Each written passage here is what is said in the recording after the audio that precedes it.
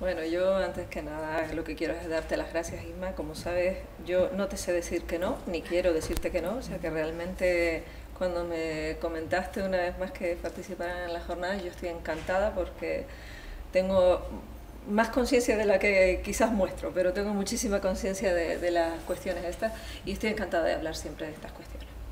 Me pediste un título y te di este, Historias de Alice y Bob, que cuando me lo pediste eh, yo no sabía ni de qué iba a hablar. Digo, bueno, voy a dejar un título así lo suficientemente amplio como para hablar de lo que quiera.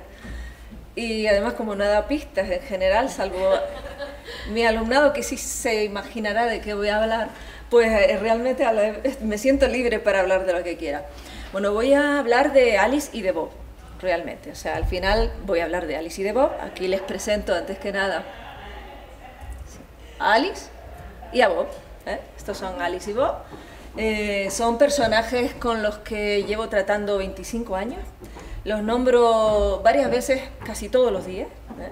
Mi alumnado lo puede confirmar, que efectivamente los nombro casi todos los días. Y bueno, y ya me he hecho amigo de, amiga de ellos. ¿no?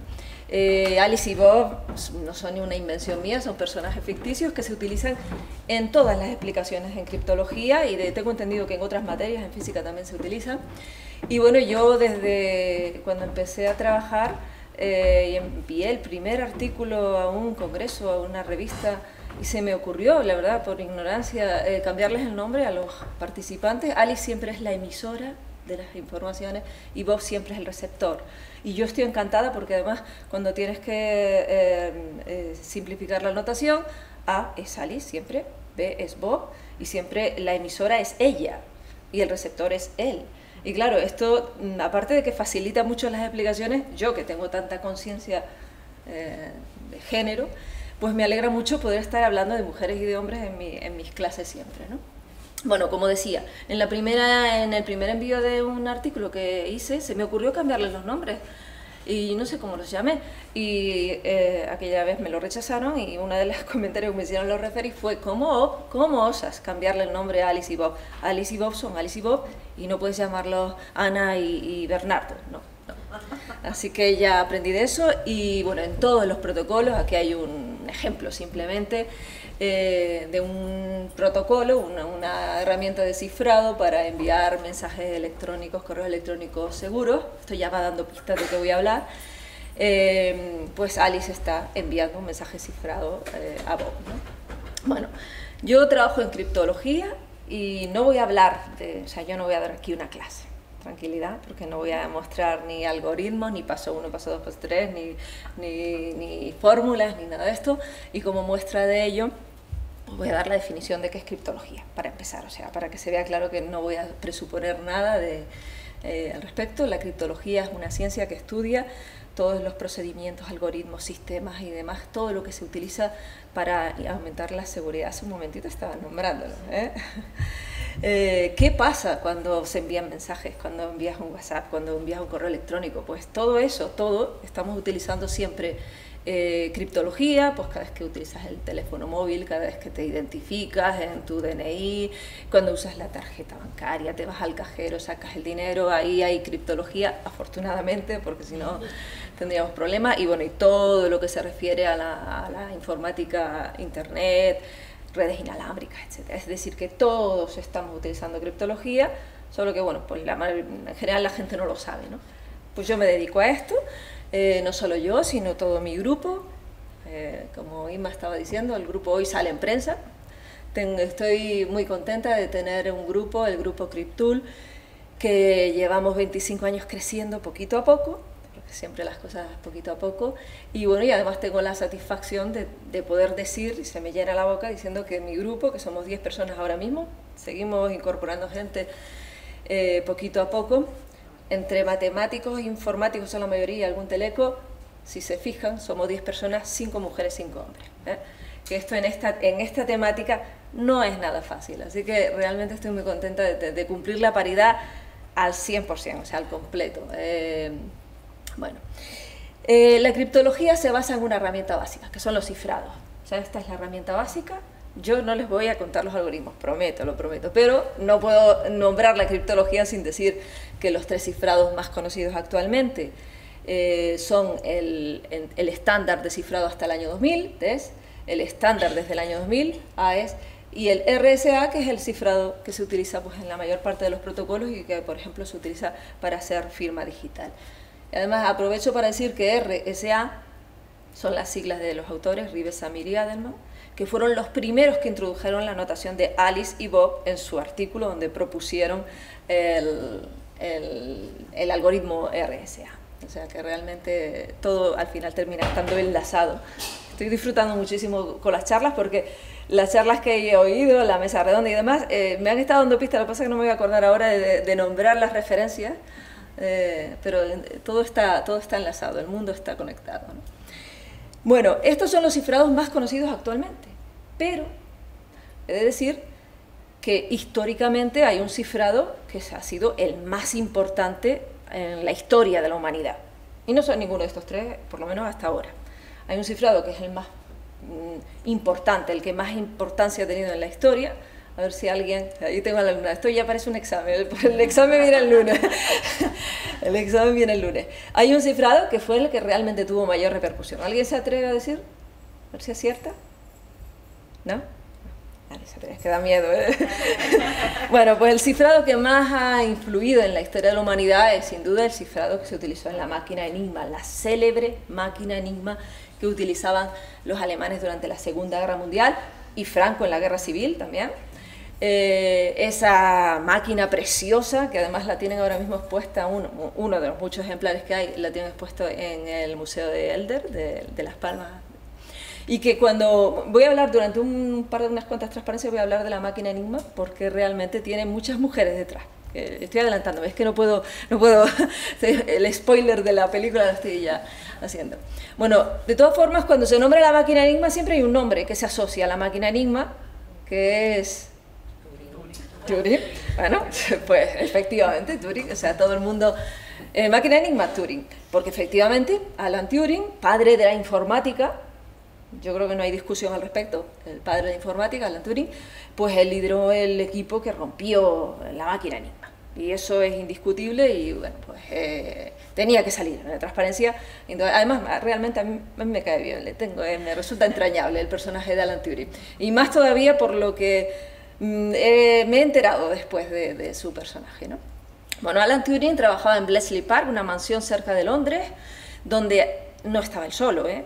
Había más de 8.000 personas tratando de romper la máquina Enigma. Imagínense lo difícil que, era el cifrado de la máquina Enigma. O sea, realmente un cifrado muy, muy difícil. Eh, como digo, había más de 8.000 personas.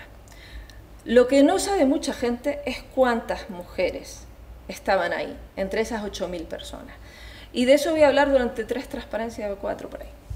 Porque entre las 8.000 personas, el, por cierto, todo esto eh, ha estado en secreto hasta finales de los años 70, durante más de 30 años, casi 40. Eh, todo totalmente silenciado, eh, clasificado como top secret. Yo recuerdo los primeros artículos que logré, con los que logré trabajar, tenían el sello ese que te da tanto misterio del top secret, porque me los pasaron, no estaban aquí en la universidad, me los pasaron.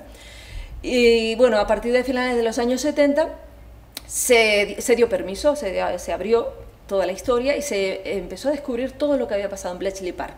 Y la verdad es que pues, ha sido alucinante el descubrimiento porque allí había 6.600 chicas, entre comillas pongo chicas, digo chicas entre comillas porque entre los casi 8.000 y pico, era 6.600 era el 75%. A ellas se las llamaba chicas, mientras que a los 2.000 y pico eh, se les llamaba profesores. Para que luego digan que el lenguaje no importa, nada, nada, no, no importa. Bueno, ella, que bueno, ahí hay fotos, realmente ahora han salido muchísimas fotos, se encuentra bastante. La verdad es que son todas unas preciosidades, ¿eh? Las ves y dices tú, madre mía, qué guapas y demás. Pues, pues no las elegían por guapas. ¿eh?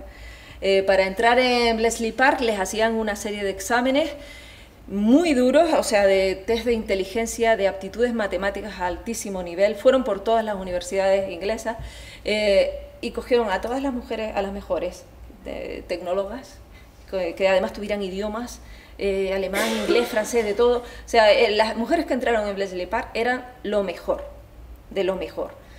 eh, no solo profesoras, sino estudiantes y estudiantas, me lo permito, eh, etcétera, etcétera.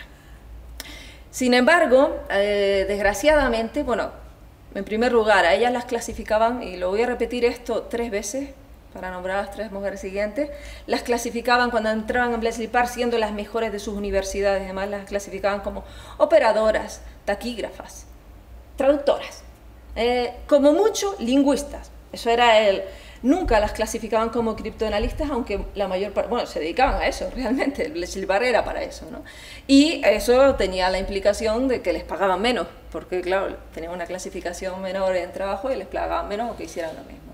Y además, cuando acabó la guerra mundial, como dije, se le puso el sello de Top Secret, estaba prohibido terminantemente hablar de nada de lo que había ocurrido en Bletchley Park y a todas estas mujeres las mandaron a sus casas a ejercer de madres, esposas, calladitas.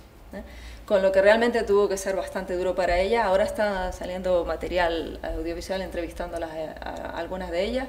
Si funciona internet, pues ahora lo pondré algún en brevísimo minuto porque creo que vamos muy mal de tiempo. Pero bueno.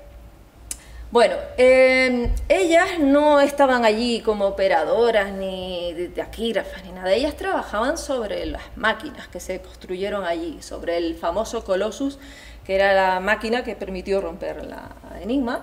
En Estados Unidos ocurrió lo mismo, allí tenemos a la, máquina ENIAC en Estados Unidos, allí de abajo aparece también la madre del COBOL, Grace Hopper. Es decir, las mujeres estaban en el nacimiento de la informática. O sea, la informática nació en manos de mujeres. Eso es indiscutible. O sea, si uno busca información sobre cómo nació la informática, los ordenadores, los primeros ordenadores, están las mujeres en todas las fotos, en todas o sea, la, informática nació en manos de mujeres y sin embargo, ¿qué ha pasado? O sea, llevamos desde ayer diciendo, pero ¿qué ha pasado? ¿Eh? se han dado estadísticas, muchas estadísticas. Yo hoy no voy a dar ninguna estadística, voy a dar nombre. no voy a poner DNI para la ley de protección de datos, ¿eh? pero voy a dar nombres. Aquí aparece una lista de nombres. Ustedes dirán, ¿quiénes serán estas personas que están ahí? Bueno, en esa lista de personas aparecen cuatro nombres, Montserrat, Ana, Laura Cristina y Nuria Esther. ¿eh? Esa lista de personas es la más antigua que he podido sacar del portal del empleado.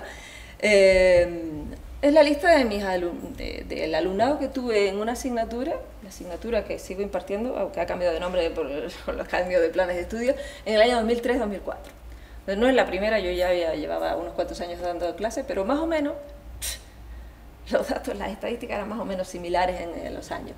Había 27 hombres y 4 mujeres. Qué mal, ¿no? 7 por 4, o sea, una ratio de 7 hombres por cada mujer. Y bueno, pues, eh, qué mal, ¿eh? Qué mal. Bueno, señores alumnado que tenemos aquí, aquí aparecen sus nombres. Con el permiso, no, sin el permiso de ustedes porque no estoy poniendo los DNI. Ahí tenemos la lista del alumnado matriculado en la asignatura correspondiente.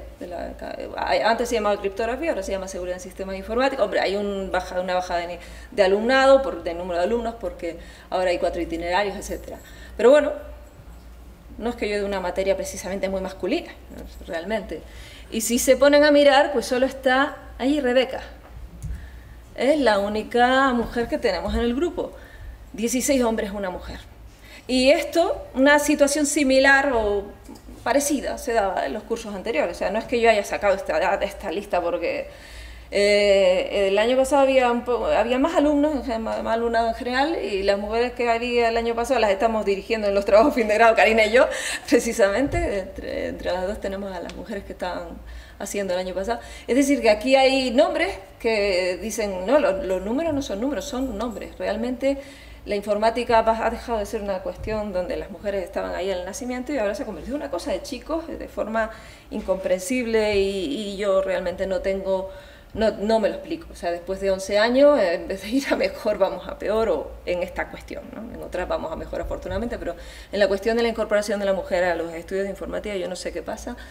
Igual es la falta de referentes, igual es la falta de visibilización o la, yo qué sé, no, no lo sé, realmente no tengo Solo espero aportar un poquito, un granito de mínima ayuda mediante esta charla y mediante lo que pueda hacer. Volvemos a Enigma, ¿vale? Porque yo es que no podía resistirme a poner esto y mostrar que los números son nombres realmente que hay detrás.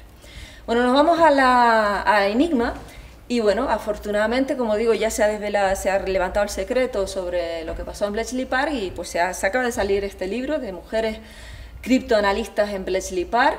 Todavía solo se vende, bueno, acaba de salir ahora en 2015 en Inglaterra, ahora me lo traeré cuando vaya para allá.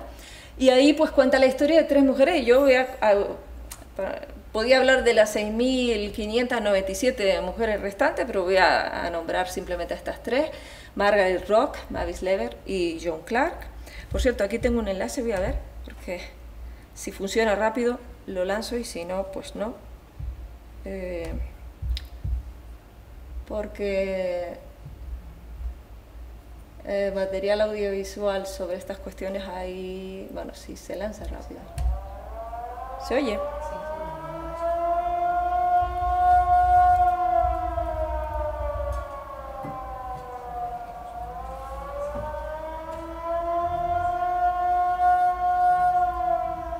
After May 1940, the German assault on Britain began in real earnest.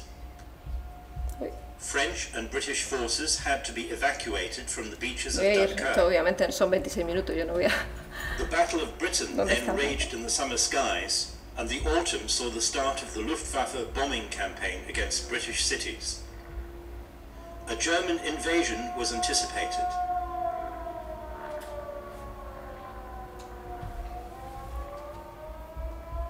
Survival for Britain demanded total mobilization and technical ingenuity, and both of these values came to be exemplified by the work of the women of Station X. Voy a saltar al In December 1941, un par de minutos. activities that took place at Bletchley Park Ahí and in the outstations of Bletchley Park. It was mostly for security reasons, and so that's how I became a recruit for, for this work. Una de las 6.600 mujeres esa. Realmente. Remember saying Bueno, voy a dejarlo porque "Oh, vamos muy mal de tiempo, ¿vale? you, this is what I did in the war. And he said, oh, really? And A that ver, was the end of the ratón, ¿dónde anda? conversation. And I think very few people read the book. Bueno. Mm, no sé si habrá forma de poner este... el- por las transparencias tienen un montón de enlaces y como se va a colgar por internet, les recomiendo que pinchen los enlaces porque como vamos muy mal de tiempo, tengo unos cuantos enlaces, ¿eh? este, es uno de los muchos enlaces que, que tengo y les recomiendo que pinchen sobre él, además el inglés exquisito del británico este, me encanta escucharlo. Bueno, Margaret Rock, le he puesto como subtítulo Enigma de Canarias. ¿eh? Eh, Dentro de un momentito entenderán por qué esta mujer, Margaret Rock, 1940, tenía 26 años y ya estaba graduada en francés y en matemáticas y ya había trabajado como estadística en la Asociación de, Fabricantes Británicos. La reclutaron para Bletchley Park después de esos exámenes eh, minuciosos que le habían hecho y trabajó allí en lo que sucedió a Bletchley Park durante 20 años. Esta mujer, en 1943, rompió la máquina enigma que se utilizaba en el servicio Islas Canarias que como, eh, cifraba las comunicaciones entre las Islas Canarias y Berlín y Francia y París. O sea que por eso la he llamado Enigma de Canarias.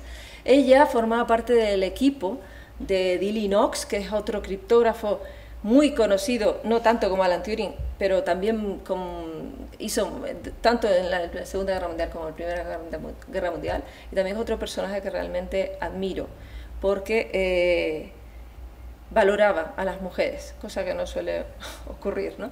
Ella, él en su equipo tenía dos mujeres, a ella y a la que viene a nombrar después, y escribió esto que dice ahí pidiendo que por favor, siendo la cuarta o quinta mejor de las 10 personas que tenía en su equipo, ¿cómo era posible que, le, que pagaran a Margaret Roth tan poco? Entonces, eh, pues pidió un incremento de salario y le dieron un, incre- un incremento a la, categoría de lingüista, que era el máximo eh, nivel que podía tener una mujer en Bletchley Park también como lingüista. Bueno, a ella la reconocieron después, más tarde, años más tarde, eh, la reina de Inglaterra le dio la orden del Imperio Británico, como a sus compañeras, a Mavis Lever, que fue reclutada siendo estudiante. A los 18 años estudiaba eh, alemán en la universidad, también para el equipo de Knox, que decía cosas como estas, estos son, son extractos de, de, de Dilly Knox. Eh, a él le interesaba reclutar mujeres porque decía que las mujeres tenían una mayor aptitud para el trabajo de romper la máquina enigma eh, agilidad mental, capacidad para el pensamiento lateral y un cuidado y una atención al detalle que muchos hombres no tienen. No son palabras mías, son palabras de Linux. Eh, ella, por ejemplo, fue un ejemplo de que efectivamente eh, atención al detalle tenía, porque fue, por ejemplo, la que descubrió que un mensaje interceptado, que le faltaba una letra, y vio que efectivamente la máquina Enigma no cifraba no producía como cifrado lo mismo que había entrado como letra original y ese descubrimiento le permitió romper eh, una máquina, le permitió construir un nuevo rotor y además sirvió como herramienta para romper lo siguiente, para seguir rompiendo. Además ella era experta en alemán realmente y se convirtió en experta en tacos alemanes porque los alemanes utilizaban muchas veces tacos como clave y entonces pues se sabía todos los tacos alemanes que que utilizaban los, operadores alemanes en Enigma. Rompió la máquina que se utilizaba, la Enigma, entre Madrid, las comunicaciones entre Madrid y Gibraltar, por eso lo he puesto como, como subtítulo. Y ayudó a romper otras muchas máquinas. Y además recibió también la orden del Imperio británico, pero tengo que decir que curiosamente ella no lo recibió por ser criptoanalista, sino que lo recibió por la protección de los jardines históricos de Gran Bretaña. ¿Eh? Resulta alucinante, porque cuando acabó la Segunda Guerra Mundial, a esta mujer, como a todas las demás, la mandaron a su casa a hacer sus cosas, y ella, que tenía eh, interés por todo, se dedicó a la jardinería, pero a nivel, o sea, a alto nivel, para llevarse la orden del Imperio Británico. Bueno, en Gran Bretaña los jardines se da mucha importancia. Eh, ahí, por ejemplo, tengo también un enlace, pero no lo voy a poner, con, eh, con una entrevista que le hicieron a ella, muy, muy, muy, muy, muy bonita. Bueno, y llega el nombre de Joan Clark. Joan Clark, de la cual van a oír hablar, espero, espero, mucho en los próximos, en los próximos, en los próximos tiempos, espero que pronto, fue ni más ni menos que la subdirectora del equipo de Turing. ¿eh? Todo el mundo conoce a Turing, a que nadie había oído hablar de Joan Clark. Para nada. Es que creo que, yo creo que ese es uno de los problemas. Bueno, Joan Clark era un monstruo de las matemáticas. Ella en 1939 acabó la carrera de matemáticas en Cambridge, aunque no le dieron nunca el grado, porque allí no podían dar, no le daban el grado a las mujeres en esa época. Y en 1940 entró en Bletchley, eh, pasó todas las pruebas mm, eh, mucho mejor que todos los demás y entró en el equipo de Turing, donde eran solo cuatro personas. ¿eh? Turing, dos colaboradores y ella. Y eh, también le pagaron como lingüista, o sea, ella eh, no era criptoanalista a, nivel de... No, era criptoanalista, no figuraba como criptoanalista. Sin embargo, fue la subdirectora del departamento. Realmente fue la mano derecha de Alan Turing. Le dieron la orden del Imperio Británico, como no, a ella sí por criptoanalista. Y aquí en esta entrevista, voy a pincharla, pero es que va muy lento y voy a perder mucho tiempo. Eh, cuenta... A ver cuenta cómo Alan Turing le pidió en matrimonio, que se sepa la historia de Alan Turing.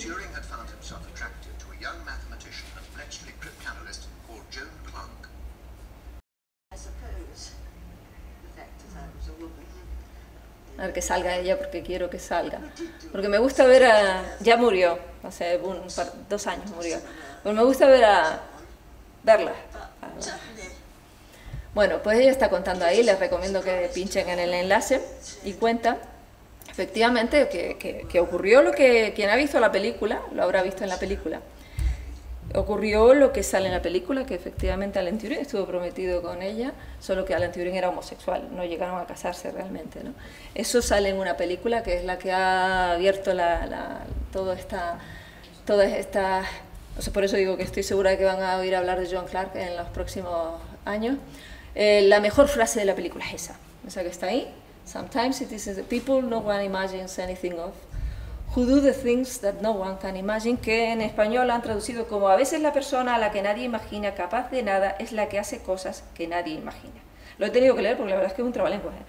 Eh, eso, eh, esa frase es la mejor de la película. Yo creo que quien haya visto esta película, The Imitation Game, eh, estará de acuerdo conmigo en que es la mejor frase y además creo que, bueno, este es el tráiler, supongo que ya lo habrán visto. Creo que como por aquí sale la frase. La Marina piensa que uno de nosotros es espía soviético. No, más acá. Bueno, no sé.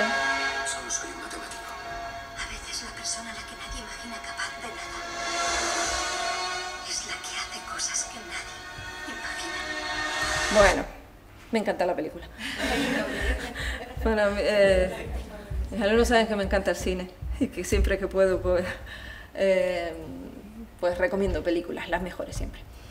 Bueno, eh, creo que probablemente me saltaré dos transparencias que tengo contando cómo funciona la máquina Enigma, salvo que alguien tenga interés especial, eh, pues digo, bueno, estoy hablando de la máquina Enigma, no he dicho cómo funciona, obviamente se pueden imaginar que es una máquina que, bastante compleja, que se basa en electricidad y mecánica, en sustituciones y transposiciones, eh, que cambia la clave continuamente y que hace que una búsqueda exhaustiva, lo que se llama un ataque por fuerza bruta, probando todas las claves, lo siento, no, he podido contenerme, es imposible porque eh, se convierte aquí en un número exponencial, 26 elevado a n, donde n es el número de rotores, lo que es imposible de abordar. De ahí que pues costara tanto trabajo romperla. Al final, eh, bueno, la, forma de proceder de cuando se utilizaba la máquina Anima fue el problema que, bueno, el problema, fue la debilidad que utilizaron para romperla. Y básicamente consiste, y yo prometo solo voy a decir esto, en que la clave maestra eh, se utiliza para cifrar la clave de sesión. ¿Eh? Esto va para en, la máquina Enigma. Y eso gracias a las matemáticas que hay debajo y al uso de grafos, por ejemplo, por allí veo a Mariby también, está contenta de, nombrar matemáticas discretas, eh, fue prácticamente la herramienta eh, que permitió eh, romper la máquina enigma. ¿no? Se, llegó a, se descubrió pues, que había relaciones entre las parejas de las primeras letras que llegaban y eso todo eso se tradujo en, en pues, la posibilidad de romperla. Ah, luego, aparte, lo que antes comentaba, ¿no? el descubrimiento de que la enigma, ninguna letra puede cifrarse como ella misma, y bueno, y que los operadores alemanes no eran muy inteligentes y utilizaban las mismas claves y además siempre cifraban textos como Heil Hitler, que eso fue muy útil porque pues lanzaron un criptoanálisis con texto original conocido. ¿no? Todo este tipo de cuestiones fueron lo que permitió pues construir esas máquinas Colossus, que eran simplemente máquinas enigma en paralelo que permitían hacer una búsqueda con los, eh, las cribas que llamaban, que eran las que permitían aquí construir ciclos. Pobrecito, les dije que no. Bueno, voy a dejar la, la, ciencia y vamos a volver a la historia.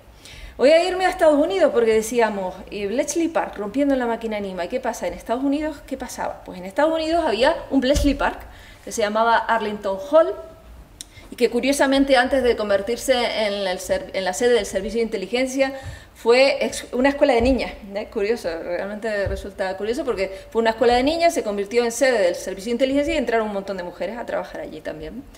Eh, allí no se dedicaron a la máquina Enigma, allí se concentraron en la máquina japonesa, en Purple, que no era una máquina de rotores, requirió un criptoanálisis totalmente diferente y también ayudaron a Bletchley Park porque construyeron allí 120 bombas, 120 colosus máquinas para romper la máquina Enigma que eran operadas por mujeres, como se puede observar en todas las fotos que salen al respecto. Y también este tema, el tema de las mujeres en la criptología durante la Segunda Guerra Mundial, está saliendo, por fin, después de tanto secreto, y pues se está publicando, pues, eh, por ejemplo, este pequeño libro que lo sacó la Agencia Nacional de Seguridad estadounidense, con el papel de las mujeres en Arlington Hall. Bueno, allí en Arlington Hall trabajaba una de las mujeres, Elizabeth Friedman, no es una errata, se llamaba Elizabeth, eh, que como la mujer que aparecerá en la siguiente transparencia también de, Arlington Hall, eh, fue criptoanalista y ella fue la que enseñó a su esposo, introdujo a su esposo eh, en la materia de criptología. Y nombra al esposo porque el esposo es el famoso. O sea, William Friedman en criptografía es muy conocido, él fue el que eh, propuso el índice de Friedman para criptoanálisis y además fue el que introdujo toda la teorización matemática del criptoanálisis se le reconoce muchísimo. William Friedman, todo el mundo sabe quién es, todo el mundo del tema sabe quién es William Friedman. Pues a William Friedman lo introdujo en criptología su esposa, Elizabeth Friedman, que también fue, trabajó en, en criptoanálisis, fue la primera mujer criptoanalista de Estados Unidos. Y ella lo que pasa es que no se dedicó a Enigma, eh, sino que se, eh, todos sus éxitos, o sea, ella era la experta criptoanalista que rompió todas las comunicaciones de los contrabandistas de alcohol durante la ley seca. En la época de, del padrino y todo esto, ¿no? Pues ella era la que estaba, mm, de hecho corrió bastante peligro de vida, o sea, contra su vida, porque claro, era, un, era peligroso lo que hacía, ¿no? Romper la, los cifrados que utilizaban en el contrabando de alcohol, que ha, salido en muchas películas. No voy a poner ninguna película de esa. Hay otra mujer que voy a nombrar, pero antes de nombrarla les voy a decir, Elizabeth Friedman fue la primera mujer que entró en el Hall del Honor Criptológico de la Agencia Nacional de Seguridad Americana, la famosa NSA que sale en todas las películas. Pues ella entró en el Hall del Honor en 1999 61 em, hombres hay en ese hall del honor, ¿eh? mujeres hay 11, que tengo que decir que es triste porque es 1 a 6, pero no está mal, ¿eh? no está mal. Me refiero que en seguridad hay bastantes mujeres trabajando, realmente. Debería haber más, pero hay bastantes mujeres, aunque la ratio es eh, para echarse a llorar de todas formas. ¿no? La segunda mujer que aparece en el hall del honor la voy a nombrar a continuación, no voy a nombrar a las demás, aunque sí nombro, quiero mostrar sus nombres, por si alguna vez se la encuentran que le suene, por lo menos. No puedo estar hablando de las 11 porque no me da tiempo, pero sí voy a nombrar, a hablar un poco de la segunda que entró, de eh, Agnes eh, Meyer Driscoll, que también enseñó criptología a todos los criptógrafos que fueron famosos luego, ¿eh? entre, entre otros al primer jefe de investigación criptográfica de la Marina y a, y a otros criptógrafos que se hicieron muy famosos durante la Segunda Guerra Mundial. Ella se graduó en física, matemáticas, lenguas extranjeras y música. Fue directora de una orquesta de música, fue catedrática de matemáticas en el instituto y luego terminó siendo criptoanalista y trabajó de criptoanalista principal para la Armada Americana durante toda su vida. Y durante todo ese tiempo que estuvo trabajando en la Agencia Nacional de Seguridad Americana, rompió, lo rompió todo, o sea, directamente. O sea, yo creo que no hay ningún hombre eh, del que se pueda decir que haya roto tantas cosas, eh, roto tantos cifrados, prefiero.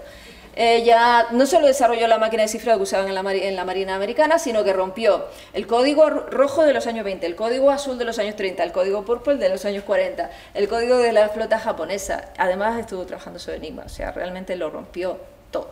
Era un fenómeno. Eh, bueno, voy a dar un salto. Voy a seguir en Estados Unidos, pero antes de Estados Unidos... Eh, estuvo en, Europa. Es decir, que ahora voy a hablar de una mujer que estuvo a caballo entre Europa y Estados Unidos. Y espero que se queden boquiabiertos, ¿no? Esta es la más conocida de todas las que voy a, de todas las que voy a nombrar. Se queda uno callado viendo esa belleza, ¿no? O sea, realmente no se puede ser más guapa ciertamente.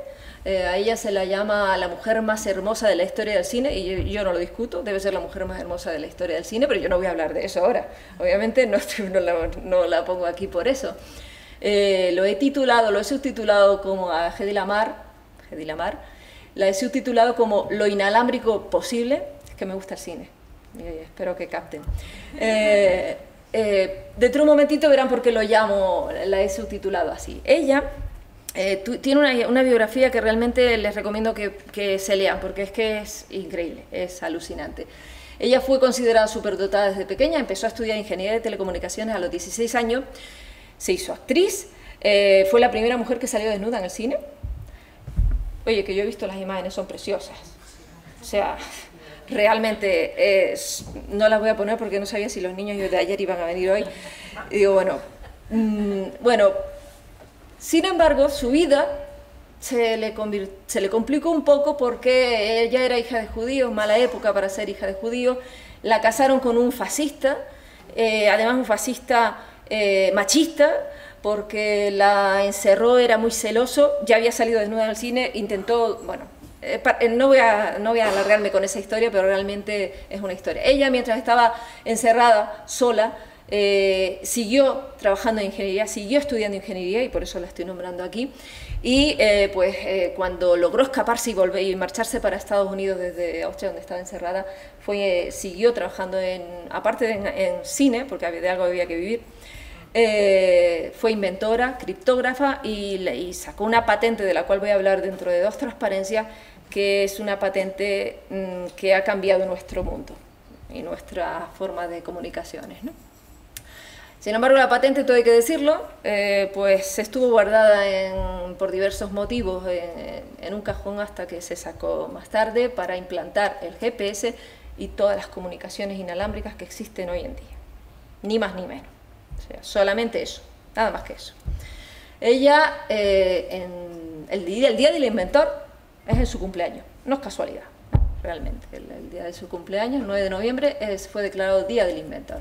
Y ella pues hizo cine, esta es la película más famosa, no es muy buena, desde mi punto de vista no es muy buena. De hecho, me gustan más otras, pero esta es la más conocida de, de, ella. Y bueno, como actriz y en Hollywood, pues tuvo un final ahí un poco... Se casó seis veces, la metieron en la cárcel o la, vamos, la, la, mm, la detuvieron por robo. Es que Hollywood trastorna, todo hay que decir. Pero yo la nombro aquí por la patente, ¿eh? por la patente que ella, con toda esa historia, esa biografía que estoy contando, fue capaz de sacar, eh, aunque aparece aquí H.K. Mark, y es que este Hedy Lamar es el nombre artístico, obviamente, pero era ella, una patente eh, que se titulaba Sistema de Comunicación Secreta estaba propuesto para que sirviera para comunicar de forma secreta, para lanzar comunicaciones secretas, pero la base de su sistema de comunicación secreta era ir saltando de frecuencias ¿eh? entre emisor y receptor, cosa que es la base del spread spectrum, este que, que, la técnica de espectro ensanchado, que se utiliza en telecomunicaciones para transmitir todo tipo de datos digitales y por radiofrecuencia. Es decir, que gracias a esta patente de Hedy Lamar, que por cierto ella no ganó nada de dinero porque, como digo, era actriz, ¿quién iba a hacerle caso a una patente de una actriz? Aparte que la tecnología no, no ayudaba en esa época, todavía no estaba desarrollada, cuando se caducó la patente fue cuando empezó a utilizarse, o sea que no ganó ni un duro, la pobre no, por ahí no, menos mal que se dedicaba al, al artisteo y por allí pudo salvarse, porque por la patente no, no se sacó ni un duro. Y eso sí, se le reconoció que la, que la telefonía móvil, la tecnología Wi-Fi, Bluetooth y GPS son posibles gracias a esta patente. Eso está reconocido, realmente. Aunque no ganara dinero, por lo menos está reconocido. Nosotros también tenemos una patente, ¿eh? voy a aprovechar y dar un poco de publicidad. En el grupo Cryptool tenemos una patente que ha salido en medios de prensa, de luego no tiene nada que ver, no vamos a posibilitar la wifi ni nada inalámbrico. Nosotros trabajamos en redes vehiculares, redes de comunicaciones entre vehículos, en cómo hacerlas posibles, porque dentro de poco las vamos a ver, ¿eh? sus vehículos se comunicarán con otros, y no solo posible, sino segura. Y de ahí viene la, la patente, la he querido poner aprovechando esto, esto un poco de publicidad subliminal. Eh, vamos a seguir. Y voy a dar un salto ya a personas que están vivas, porque hay que empezar a reconocer a la gente que está viva. ¿no? Voy a nombrar a Lenore Bloom, que es coautora del Bloom Bloom Sub, ¿eh? el cifrado Bloom Bloom Sub. La primera vez, Bloom, la primera Bloom es ella. La, seg la, segunda Bloom, el segundo Bloom es su esposo, eh, Manuel Bloom, que es un, pues bastante conocido en, en, criptografía, y es un generador de números pseudolatorios bastante seguro, no muy rápido, pero bastante seguro eh, que se utiliza en cifrado en flujo. Ella es doctora en matemáticas actualmente, por, eh, bueno, ella es catedrática en el Carnegie Mellon, es doctora en matemáticas por el MIT, nació en 1943 y es muy conocida por su participación activa en la Asociación de Mujeres eh, Matemáticas y por su libro Women and Numbers, por eso sale ahí con el protagonista de Numbers. Y bueno, y ahí está la fórmula que simple, porque en criptología lo, lo simple es lo mejor. Su simple fórmula que permite definir el generador de números pseudolatorios. Otra mujer que quiero nombrar, voy a nombrar solo a tres, es Susan Landau, que es premio, premio Anita Borg, ayer nombraban el premio Anita Borg, eh, ella nació en el, en el, 54, es muy reconocida sobre todo en Estados Unidos, mmm, su nombre eh, suena muchísimo, matemática, ingeniera, catedrática en esa universidad, trabajó en Google, trabajó en Harvard, trabajó en Sun, y cuando se nombra privacidad en Estados Unidos, privacidad igual Susan Landau. O sea, realmente es bastante conocida allí. Además, es activista sobre la importancia del rol de la mujer en ciencia y mantiene esa lista de correos, un foro investigadora, bibliografía online de mujeres de informáticas, etcétera, etcétera. O sea que realmente, digamos que eh, es practicante. y tiene el premio Anita Borg que, que ya nombraron. Eh, ay, me estoy saltando todos los enlaces, pero yo creo que me lo agradeces, ¿verdad? Porque vamos muy mal. Este, hay un montón de enlaces, ahí mismo había un enlace. Bueno, y esta es la última mujer que voy a nombrar. Y de hecho quiero que el nombre entre en sus mentes, porque eh, me da muchísima pena que no se conozca el nombre de Shafi Goldwasser. Yo reconozco que durante muchísimos años, además ella eh, fue coinventora de las demostraciones de conocimiento nulo, a las cuales me llevo dedicando unos cuantos años, por ahí he dirigido tesis, varias tesis con esta materia y demás. Eh, bueno, y estas imágenes son para explicarlo, pero no lo voy a explicar. Eh, si alguien quiere, yo se lo explico luego, con detenimiento y, demostraciones y demás. Bueno, pues la verdad es que me llevó una alegría enorme cuando, después de años y años poniendo las referencias, Goldwasser, Mecali, Goldwasser, Mecali, Witherson, descubrí que Goldwasser era una mujer. Porque claro, con ese nombre Shafi, pues eh, como que no da muchas pistas. De hecho, eh, he visto, he descubierto que muchos premios, de los pocos premios que se dan a mujeres, curiosamente, no sé, el nombre es un nombre que no da pista. Yo no sé si hay... ¿eh? No sé, yo no sé. Igual por ahí tengo alguna posibilidad, porque Pino normalmente la gente piensa que soy un hombre, pues igual a lo mejor un día me llevo un premio y todo, ¿no? Safi, mujer, nacida en el 58, licenciada en matemáticas, doctora en informática. Su tesis la dirigió Manuel Blum, el que acabo de nombrar. Catedrática, ahí se me coló ahí, en el MIT y en el Instituto de Ciencia de Weizmann, porque ella es de Israel. Y eh, ha ganado de todo lo que se puede ganar, todos los premios que se puede ganar dedicándote a esto. El premio Gödel lo ha ganado dos veces, el premio esto es una selección. Premio Gates Murray, el premio de Franklin Institute, eh, que es el más antiguo de Estados Unidos, el premio de la Yecubo y el premio Alan Turing, que ayer, ¿quién lo nombró? Tú lo nombraste. Efectivamente, el premio Alan Turing.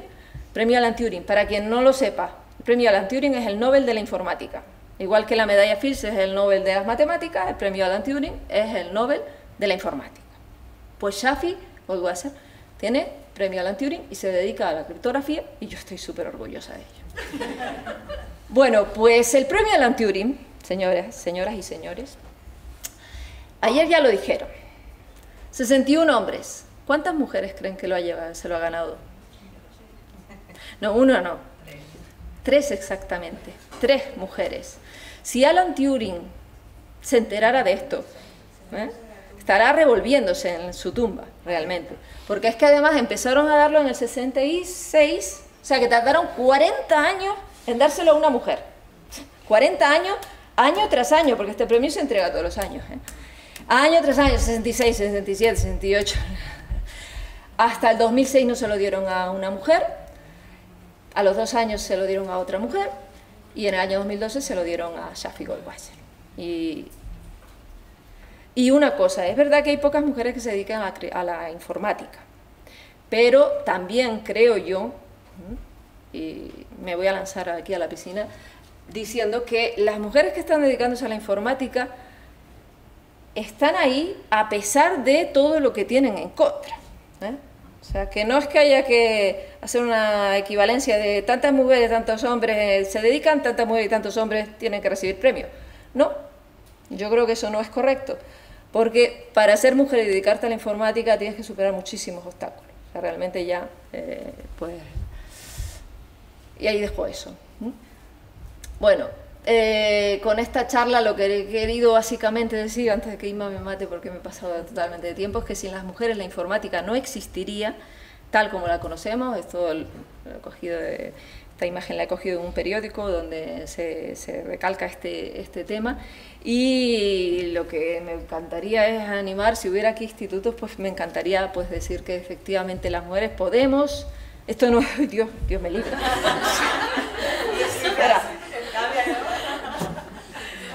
Estoy totalmente en contra de las campañas electorales. Yo creo que cada uno tiene que decidir y a informarse y demás. Eh, y bueno, y que, que podemos volar y muchas gracias. Yo no voy a seguir hablando.